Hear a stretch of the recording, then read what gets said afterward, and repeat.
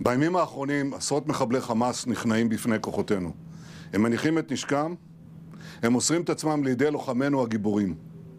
זה ייקח עוד זמן, המלחמה בעיצומה, אבל זה תחילת הסוף של חמאס. ואני אומר למחבלי חמאס, זה נגמר. אל תמותו בשביל סינואר. תיכנעו, עכשיו.